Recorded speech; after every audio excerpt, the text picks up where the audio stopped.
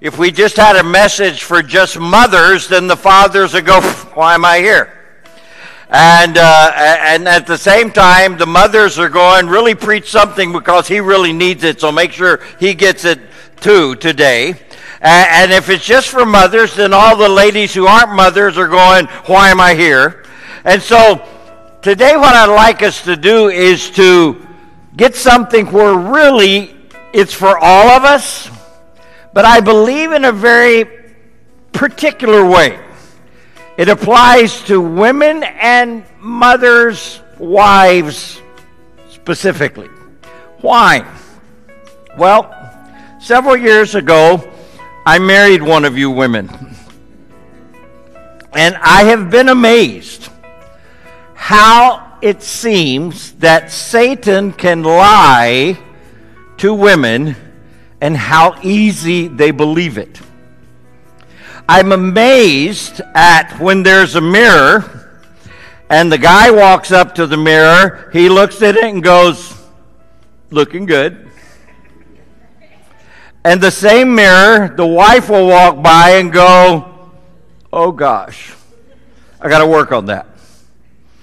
And I'm amazed how many times, no matter how much anyone says, you're beautiful, you're wonderful, you'll do it, they can always come back with, well, not really.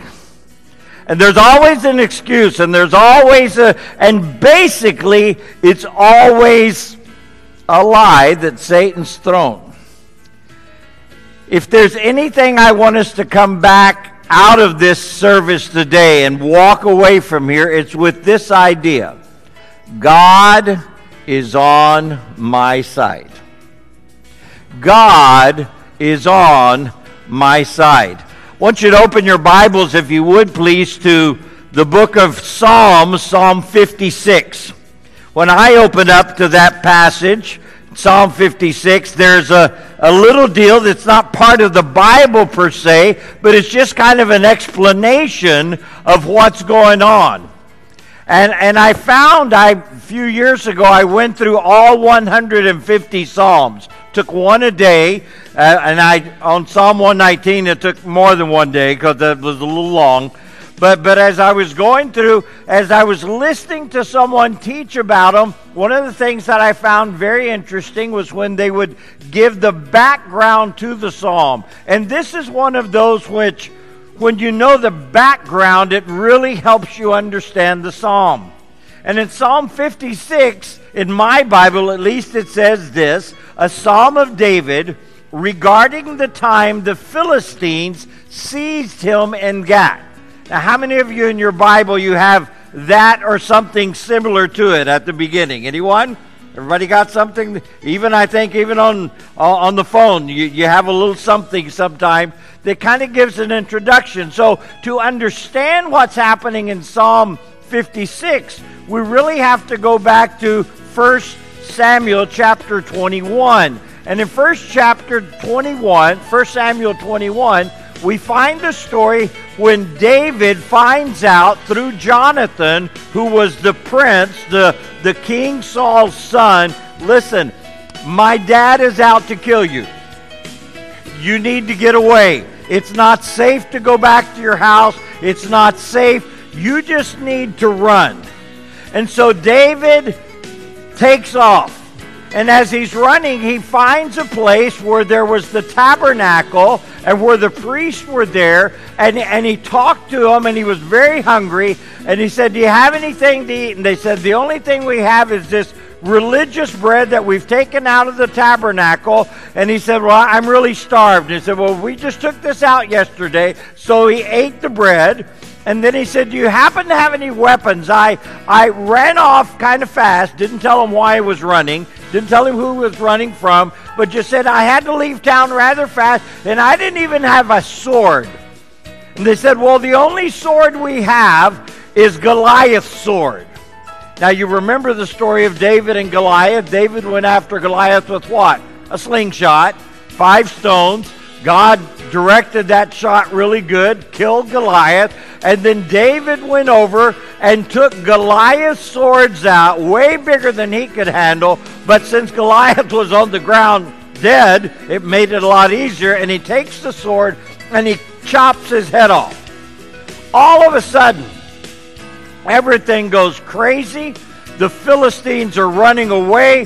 The Israelis are chasing after them. And so all of this is going on. Well, this is the only sword available. So he gets it, he straps it on, and he keeps running away.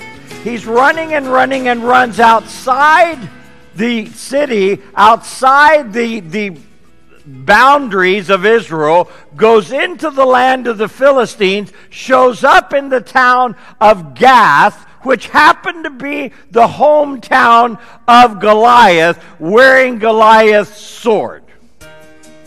Anybody see a problem here? We have a problem. So now he's there, and as he is there, things begin to happen. He is outside, he is in the hometown of Goliath. These people are sworn enemies of Israel, and they have a particular dislike for Goliath because he killed their champion. He killed the one that was the best they had, and that day many others died. And there he shows up wearing the sword. We can find out from this that he was surrounded by his enemies. Maybe even he was in jail waiting for the king to decide what am I going to do with him. Well, the first verse in chapter 22 lets us know that David escapes because he pretends to be crazy. I mean, he's just saying all kind of stupidity, drooling all over the place, and finally the king goes, "This guy's wacko. I don't. Let's get rid of him and just let him go." And he escapes. But while he's there, in jail or surrounded by the enemy, he writes this psalm. And later on, he gives it to the chief musician and he says, Listen, here's what happened. I want you to keep this, and this is a very important one. Don't misplace this one. This is one of the, the big ones. I don't want you to lose. They even have written, at least in my Bible, it's to be sung to the tune of, and I have no idea what that tune is, so we won't get into that, okay? So here it is. What did David do in the midst of this amazingly precarious situation.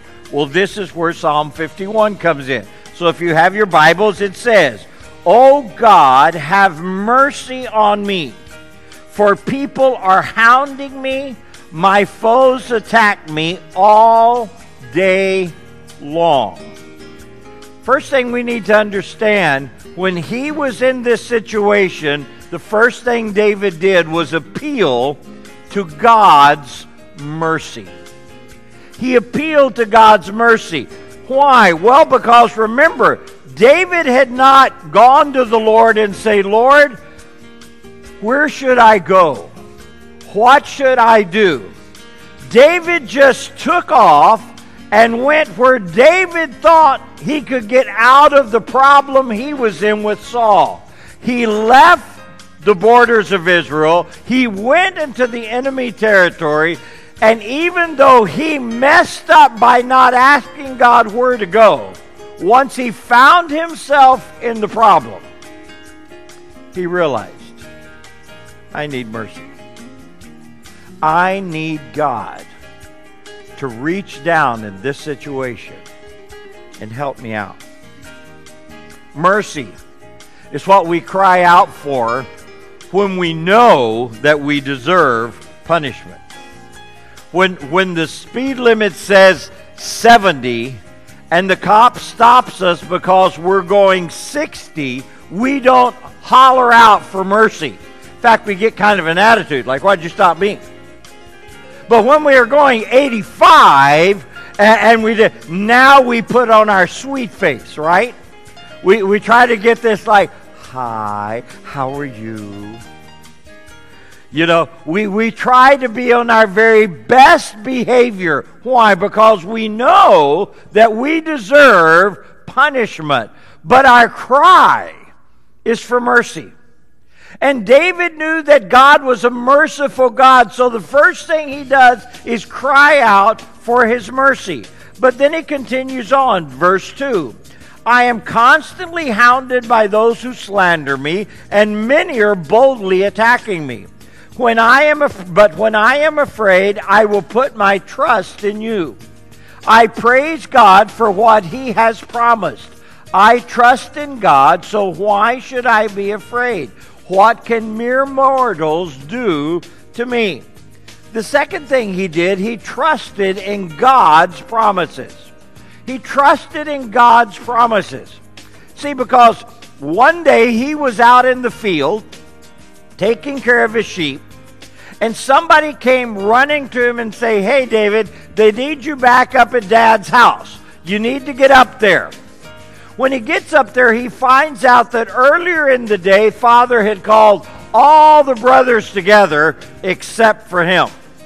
And he called all the brothers together because Samuel had said, I want you to round up all your boys. I want to see because God is going to pick a new king. So from the oldest down, one by one, every one of them, and God is telling Samuel, This isn't it. This isn't it. And Samuel's going, but this guy looks really kingly. He, he really had that king look. And he goes, Yeah, you're looking on the outside, but I'm looking on the inside. This is not it. This is not it. Goes through all the brothers and he goes, Is that all there is? And they say, Well, there's there's the one. You know, there, there's the one that's out there in the field. And they said, Bring him in. So he brings him in. And at that point, it says that Samuel takes the oil and he pours it on his head and says, You are going to be the next king of Israel. Now, I want you to notice something. This was a promise that he had made. This is, this is what God had said. God had promised David that he would be the king of Israel.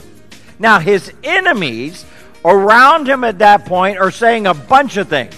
There's saying things about him. They're saying things about what they're going to do. They're going to guarantee to him that no, you you killed our big guy, and so what we're going to do is we're going to get you in the middle, and all of us are going to get slingshots, and we're just going to throw rock after rock after rock after you. And then when you're really really sore, then we're going to beat you up, and after we beat you up, we're going to get the sword and we're going to cut your head off just like everything else. And David's going, but God said, I'm going to be king. God said, I'm going to be king. And so he trusted in what God said more than in the circumstances that he found himself in. Third thing that we see begins in verse number 5 says they're always twisting what I say. They spend their days plotting to harm me. They come together to spy on me, watching my every step, eager to kill me. Don't let them get away with their wickedness. In your anger, O oh God, bring them down. You keep track of all my sorrows. You have collected all my tears in your bottle. You have recorded each one in your book. My enemies re- will retreat when I call to you for help. This I know God is on my side. The third thing we see that David did is he leaned on what he knew for certain about God. He knew what he knew about God. He knew that God was bigger and God was more powerful than all the enemies that he had around him. That he knew. In fact, he had told uh, Saul earlier on when he was going to go out and fight Goliath. He, he's going, he says, Listen, I've seen God do amazing things. I've seen Him give me the power, the, the knowledge, the, the everything to kill a bear and to kill a lion. And God has done this, and I know God can do this too. But here he was in the midst of the most horrible situation you can imagine. Yet he knew God was bigger, God was more powerful than everybody around him. And he also knew that God knew what he was going through. I was talking with someone earlier today, and they said, You know, I was in a situation, and when I was going through the situation, for a minute it went across my mind Does God know I'm going through this? Have you ever thought that? Have you ever thought maybe God took a day off? Maybe, maybe I just missed something here that like he didn't know what's going on, but he's letting him know, no, God knew what he was going through. It says he knew every step he had taken. He knew exactly where he was. Not only that, he says that God had collected every tear he had cried and collected it in a bottle. He had written down everything in a book. And he knew, he knew above everything else that God was on his side. He was not on the side of the Philistines. He was not on there. Now, he knew he wasn't perfect. He knew he wasn't where he was supposed to be. But God was a merciful God. God was one who had made many promises to him, and there's some things he knew for certain, and he knew that God was on his side. And then the last thing we see beginning in verse 10 I praise God for what he has promised. Yes, I praise the Lord for what He has promised. I trust in God, so why should I be afraid? What can mere mortals do to me? I will fulfill my vows to you, O God, and will offer a sacrifice of thanks for your help. For you have rescued me from death. You have kept my feet from slipping, so now I can walk in your presence, O God, in your life giving light. Notice what he said. He said he was going to turn the testing he was in and he was going to turn it into triumph. He turned his testing into triumph. His first words were, I praise God. I praise God. Listen, God never will God never has broken a promise. It is this reality that God never breaks his promise that should give us a light at the end of a tunnel of chaos. Now, let me explain this tunnel of chaos. Every time we're in a situation, every time that we, even when we want to do things right, there comes a moment in it where it just seems like there is no way out of this. The other night, I, I spent a few hours, had nothing else to do on Friday night, so let's go to the emergency room. And there's nothing like going to the emergency room to, to experience chaos up front.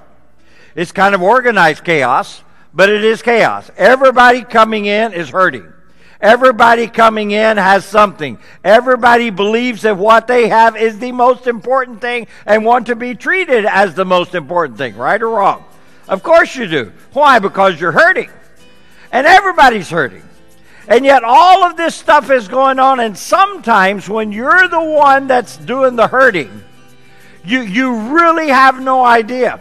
I remember one time I went in and I went in because I had a pain that was real close to my chest. All you have to do to get really fast attention is you say, I have a pain in my chest. And believe me, they will give you attention really quick. Now, they'll give you attention and then they'll charge you for that attention a lot. But you will get attention. So don't try the, I broke my finger, but I'm going to say I have chest pains because you will pay for that one. But there they are. It's in the middle of this, and you have no idea what's ahead. That's a tunnel of chaos. You're trying to get something wrong. You're trying to make something right in your life. You're trying to right a wrong. And yet, in the middle of it, when you're trying to ask forgiveness, when you're trying to make it right, there comes a time when it can become a tunnel of chaos. You confess a sin that you have done. You're trying to make it right. But when the stuff hits the fan, it doesn't exactly seem like everything is going to work out. That's a tunnel of chaos. He says, I praise God. The praise becomes that light. He says, I trust in God. I trust in God. See, the love God has for us should dispel all fear. Never forget that God loves us, and His love dispels fear. In fact, God said one time, if God is for us, who can be against us? If God is on your side, it doesn't matter who's on the other side if God is on your side. He says, I praise you. I trust in God. And then these are amazing things in the last two verses. It says, I will fulfill my vows to you and will offer a sacrifice of thanks. Now, again, he's surrounded by people who want to kill him. But in the midst of all of this, he is able to say, I know that I'm going to get out of this and I will fulfill my vows. I will offer a sacrifice. These were statements of faith. These were statements. This was putting into words what he knew in his heart. This is what we could call genuine hope in what was ahead.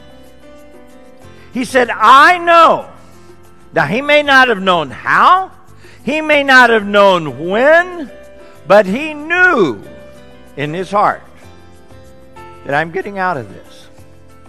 I know because I trust in what God said. I can trust in who He is. I can trust in Him. And I know that this will happen in the future. And you're going, well, that that's really cool, Russell. That's very exciting. I'm sure that David was happy. And the end of the story, yes, he acted like a madman, and they let him out. Go, David, go. But what does that have to do with me? What does that have to do with me? Let me give you four things. Number one, when I step away from God's best, He is merciful. Even when I step away from God's best, He is merciful. John Phillips, gentleman who's written a commentary on every one of the Psalms.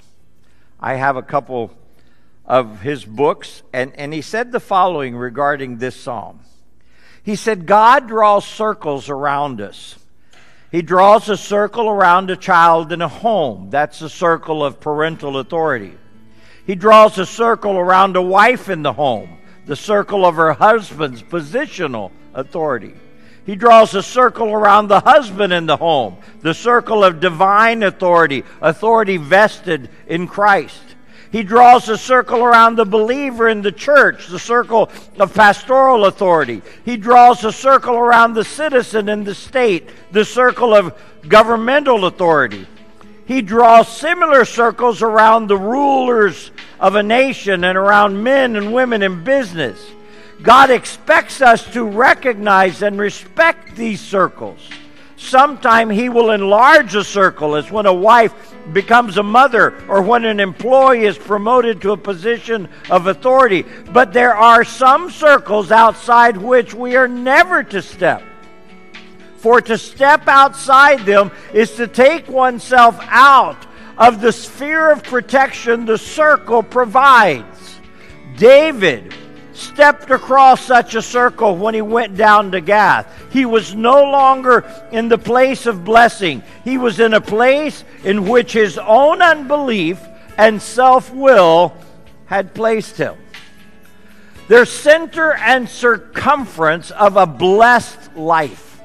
The other day I was thinking about this and working had nothing to do with this psalm, but this idea of, of a blessed life being like a circle. The center of a blessed life is the perfection of God and the love of God. The perfection of God and the love of God. That's the center. In other words, what, what am I going to build my life around? Well, first of all, God loves me.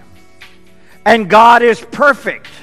So everything that He gives me is going to be the perfect thing for me. Everything that comes from Him is coming from Him because He loves me. And so that is where I have to make it the center of my life. But then you have the circumference. Where does that go to? What should I be doing in my life? And the circumference is the Word of God and the ways of God. The Word of God says, go here, do this. Don't go there, don't do the other. The ways of God is I work in these ways. I, I, work very differently from the world around me. And so my life, the best life I can hope for, is a life where the center is the perfection of God and the love of God. And the extent to where my life goes out is as far as the Word of God and the ways of God put me. That is the best life. I will ever have. But what happens? Sometimes, sometimes, inside here, there's still attacks. Remember, David was in Israel, and what happened? Saul sought to kill him. He, he was still there inside the borders, but God had not told him to leave there they're more easily defeated, these attacks and the tests and things. I can handle them better within this context. I remind you, Job was doing everything right. Job was living in this circle when God said to Satan, You see, my servant Job, He's living right in the circle. His life is right where it's supposed to be. And he said, Well, sure, you're giving him everything. Take that all away and watch him move. So he said, Okay, you can take it all away, just don't touch him. So what did he do? He took it all away. And what did Job say? I've received from the Lord all of these things. Shall I complain? When it's taken away? No. Blessed be the name of the Lord. And you're going, wow. Wow. Then he took away his health. Then he found himself sitting in a pile of ashes with pottery scratching his oozy scabs all over his body. There's a wonderful thought for noon. And yet, and yet, he was where he was supposed to be. So, yes, there are going to be attacks. But I tell you something when you get outside of these boundaries, that's where the real giants live. That's where things get really, really difficult.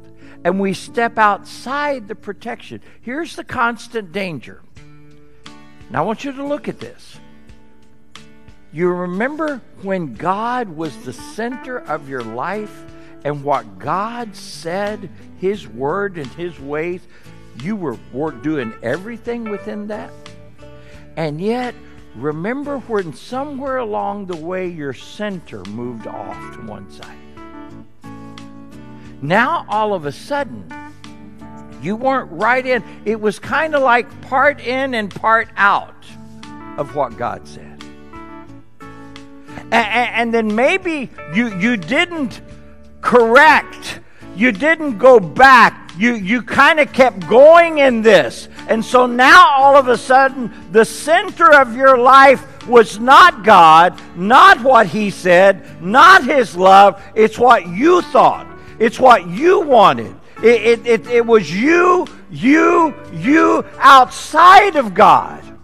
Now, if you'll notice, even the one that's the furthest out, there's still a little piece back in there where God is.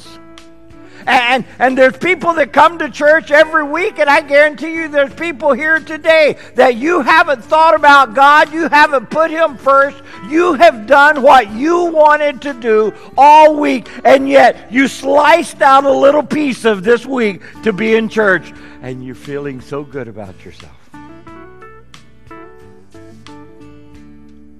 It's a constant danger.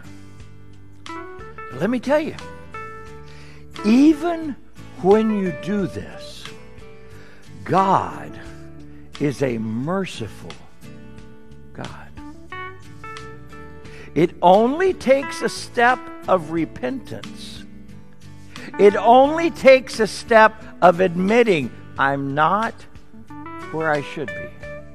I'm not where God says is best. And if you will step back, God will say, now we can keep moving. The second thing that we see here with David and what it has to do with us is regardless of how I feel at any given moment, God says that in Christ I can. When all of the circumstances of life are going well, they're all under control, we really don't have to exercise much faith. We, we really don't. I mean, we can kind of do. Why? Because everything's going good. There are some 30,000 promises in the Bible. Now, I'll be honest, they're not all for you or for me. There's promises for different ones at different times, it has nothing to do. But we may not have 30,000 at our disposal, but I guarantee you there's a bunch of them there that are designed for you and for me today. And if we will go there, and if we will find them, and if we will believe them, and if we will live according to them, we will find that life will be much better than just doing things on our own regardless of how you feel. Inside your bulletin, you have this little uh, insert. It's called the 20 Cans. It's from the book Victory Over the Darkness. And, and just, just read along with me. Why should I say I can't when the Bible says I can do all things through Christ who gives me strength? What, why should I lack when I know that God shall supply all my needs according to his riches and glory in Christ Jesus? Why should I fear when the Bible says God has not given me a spirit of fear, but of power, love, and sound mind? Why should I lack faith to fulfill my calling, knowing that God has allotted to me a measure of faith? Why should I be weak when the Bible says that the Lord is the strength of my life and that I will display strength and take action because I know God? Why should I allow Satan supremacy over my life when he that is in me is greater than he that is in the world? Why should I accept defeat when the Bible says that God always leads me in triumph?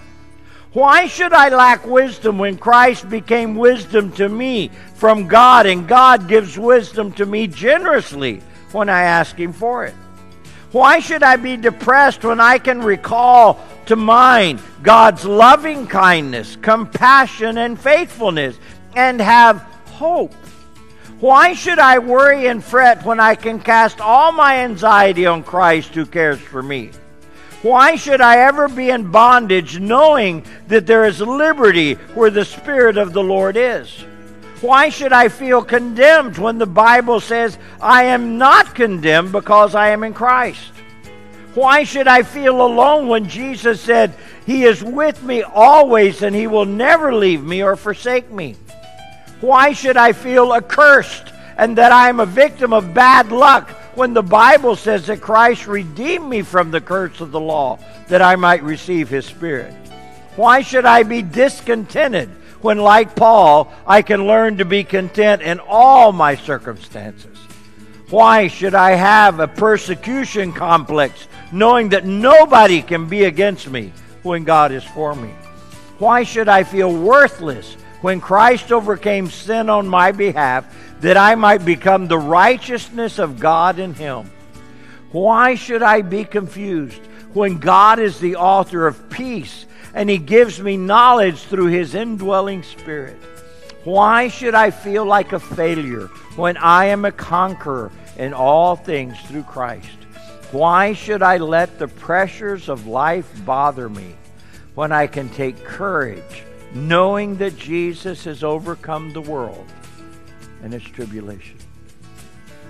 You want to do a, a little exercise? Take your pen and mark the first phrase of each one. Why should I let the pressures of life bother me? Why should I feel like a failure? Why should I be confused? If you go back and do that, you will discover many of those giants many of those lies that Satan throws at us, men and women, mothers and non mothers, that constantly Satan is throwing at us to try to get us off base when God has said otherwise.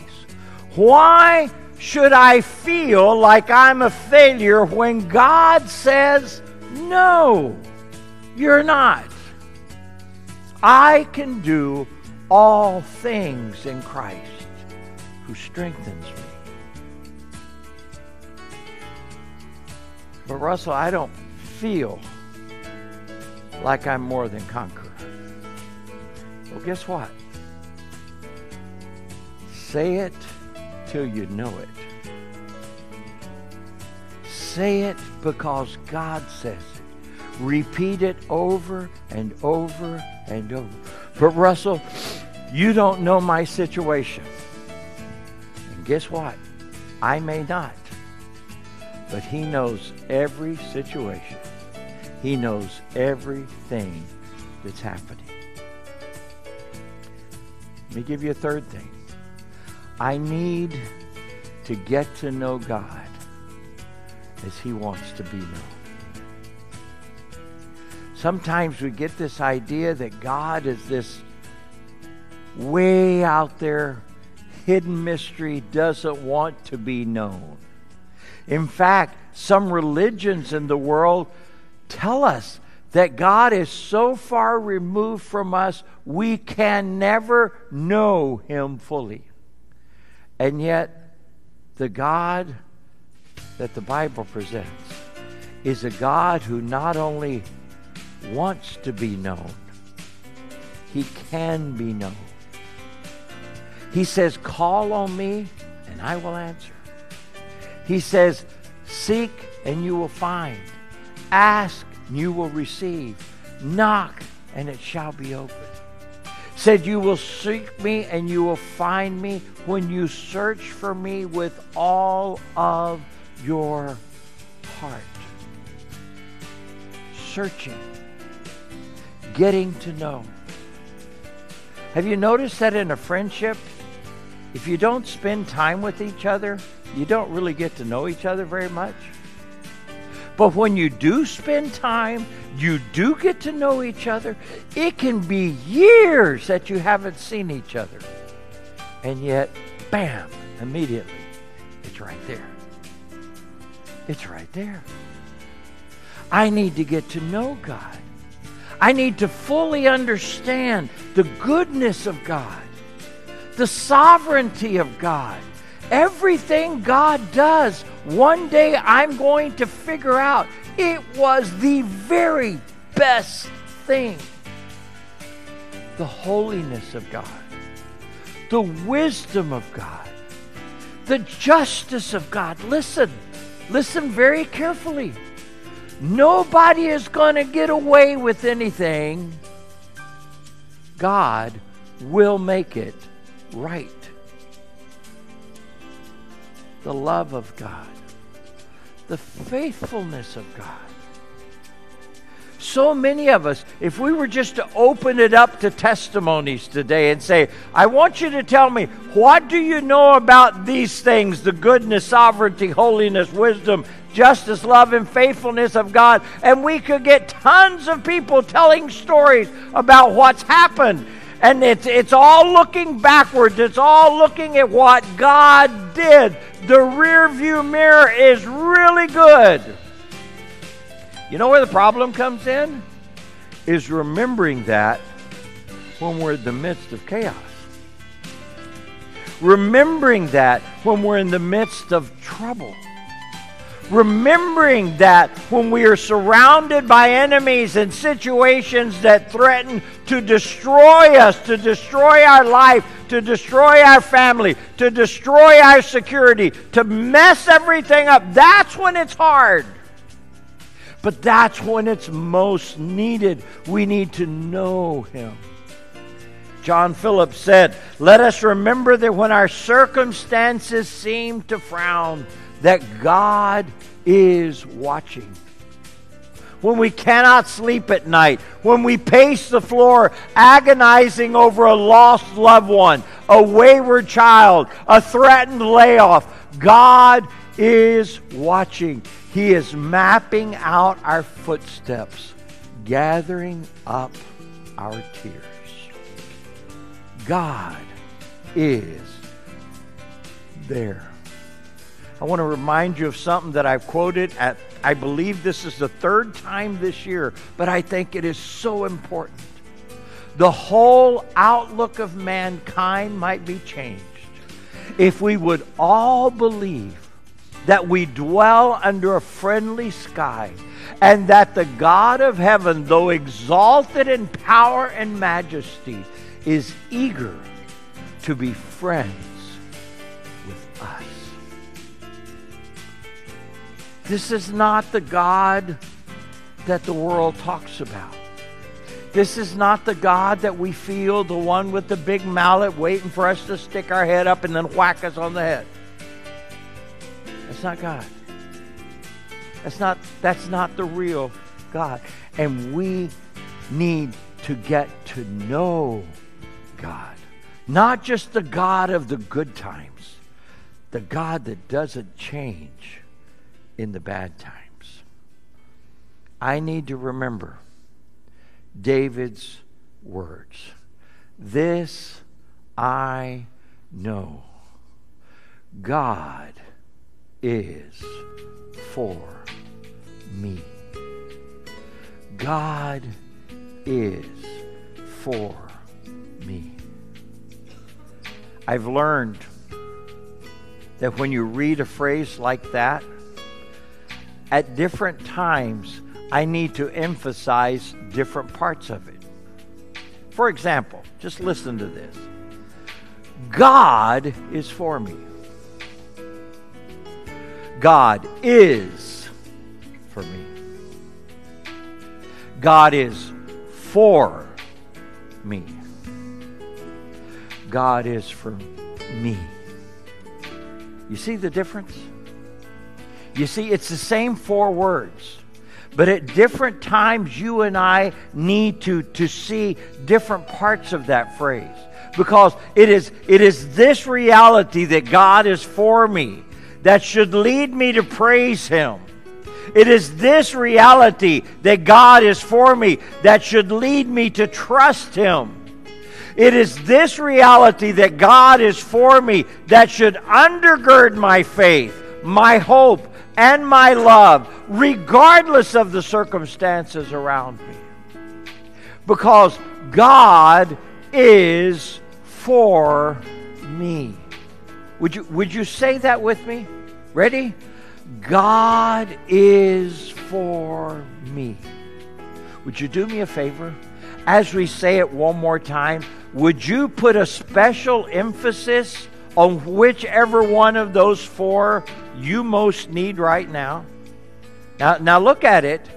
Because sometimes you're, you're thinking, well, if I had all this, all that. No, what, what you really need is God in this situation. When you're doubting whether God even knows you're around or knows what you're going for, maybe it's the is that you need. When you're wondering if God is actually on your side or maybe he's pushing against you. Maybe that's the time when you need to know if it's for or not. And maybe you think he's forgotten you. That God seems to be with everybody else and taking care of all their things, but somehow he's forgotten me. Can we say it again? And you, just, I mean, it'll all sound the same to the rest of us. But you know which one you need the most right now. Ready? God is for me. Would you do it again? God is for me. Would you bow your heads, please?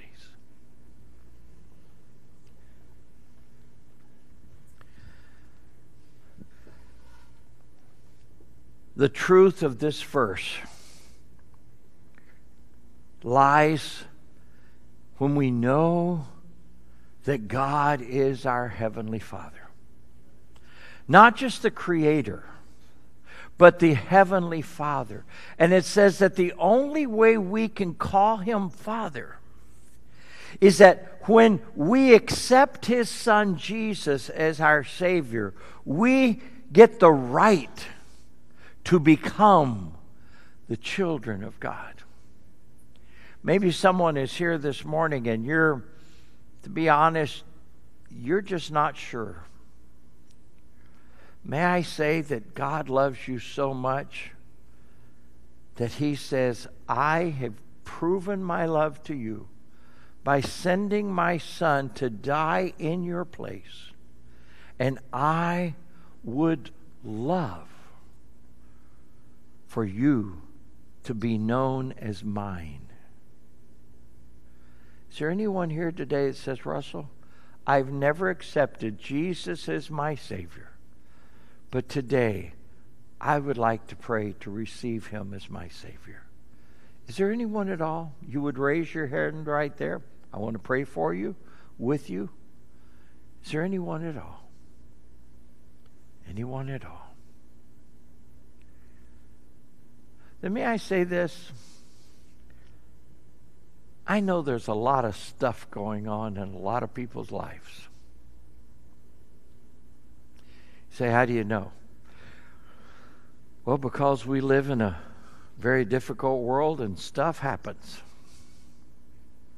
Now, some of you, some of you, you know that you've moved the circle of where God wants you and you've moved away from that.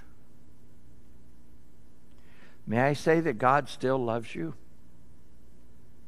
And, and maybe right now nothing bad has seemed to happen, so you think you're kind of safe. And it's not that God's going to just zap you, it's basically the seed you're sowing will bear fruit and they won't be pleasant. Why not take the step back and say, I want to go back and be where God wants me? I want to live within the circle of His Word and His ways. Why not do that today? Some of you here today are going through stuff and it's not of your own making, but it's just stuff. It's it's it's things that are going on and and you're you're just trying to make it. You may not even see the light at the end of the tunnel. May I say this? There is a light, and it is God. It is God. And today, could I invite you to say, Lord, I believe in you. And I believe that God is for me. We're going to take a moment as Janet plays, and maybe stuff you're going through or stuff you see on the horizon. But you would just like to come up here and pray and say, Lord, I'm affirming all those things that Russell said today all those things that David wrote about so many years ago. I am coming to you. I'm bringing it to you today. Would you come and then we'll have a time of prayer?